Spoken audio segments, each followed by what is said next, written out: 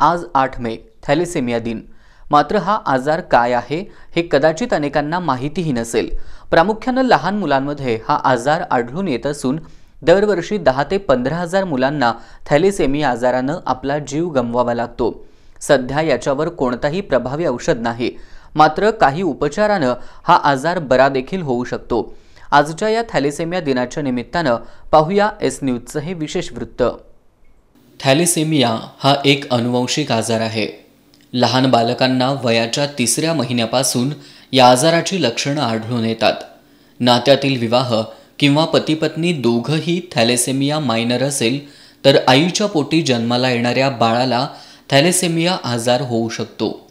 हा आजार देशभर लहान मुलांमध्ये कमी जास्त प्रमाणात दिसून येतो.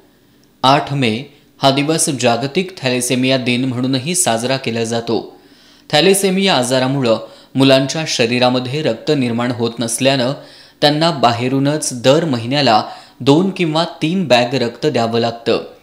या प्रक्रियेमुळं त्या रुग्णाच्या शरीरात आयर्नची वाढ होऊन काही अवयव खराब होण्याचे धोके संभवतात. त्यामुळं या आजारासंदर्भात देशभर एक चिंतेचं वातावरण आहे.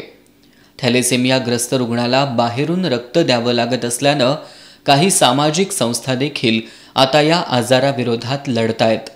देशभर जवळपास बारा लाख मुलं थॅलेसेमियाग्रस्त आहेत. तर एकट्या कोल्हापूर जिल्ह्यामध्ये दोनशे ते तीनशेच्या आसपास थॅलेसेमियाग्रस्त रुग्ण आहेत.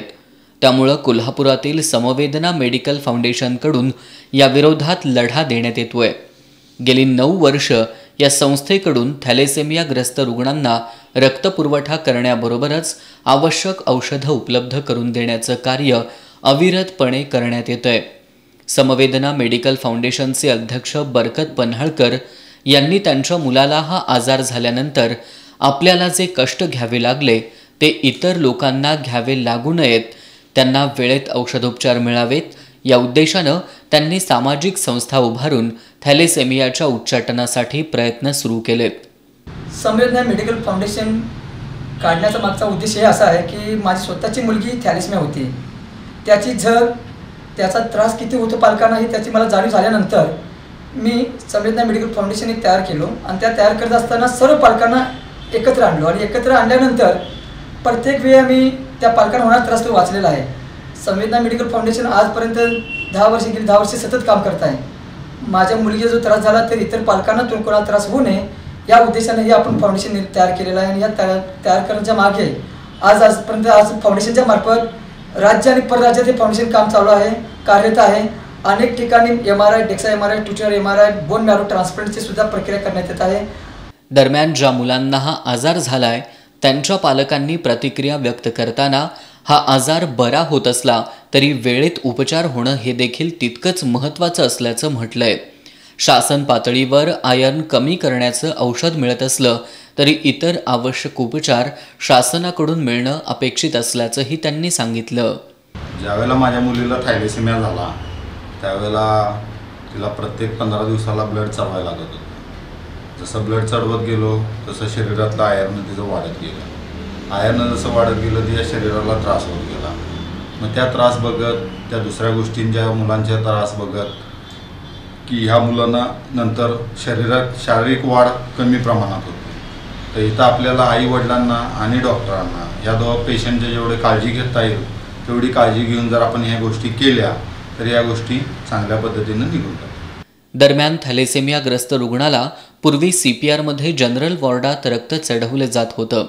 सुविधांचा अभाव तसंच औषधं दिली जात नव्हती.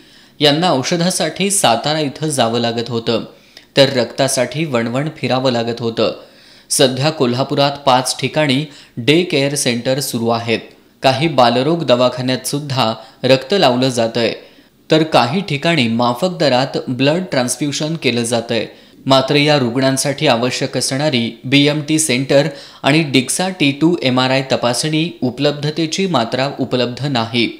जर ही सुविधा कोल्हापूरमध्ये सुरू झाल्यास निश्चितच थॅलेसेमियाग्रस्त मुलांच्या पालकांना दिलासा देणारी ही बाब ठरू शकते. म्हणूनच आजच्या थॅलेसेमिया दिनाच्या निमित्तानं कोल्हापूरमध्ये या सोयी उपलब्ध व्हाव्यात अशी अपेक्षा व्यक्त करूया.